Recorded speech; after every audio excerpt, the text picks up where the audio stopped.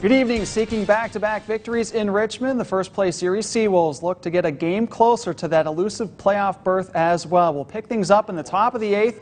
Erie leading 1 to nothing when Parker Meadows drives one deep to center field and off the wall. Daniel Cabrera already in safely, but Andrew Navigato going to get a little too aggressive. He is out by a mile at the plate. Same score in the bottom of the eighth. Diego Rincones pulls Richmond even with a two-run bomb to left field, just clearing the fence. We are tied at two going to extra innings. In the top of the 11th, same score. Meadows delivers on the RBI single to center that breaks the tie. Dane Myers scores. And then two batters later, Josh Crouch with the biggest hit in his early double-A career, a two-run shot to center field. Touch them all as Erie goes up 5 to 2 at that point.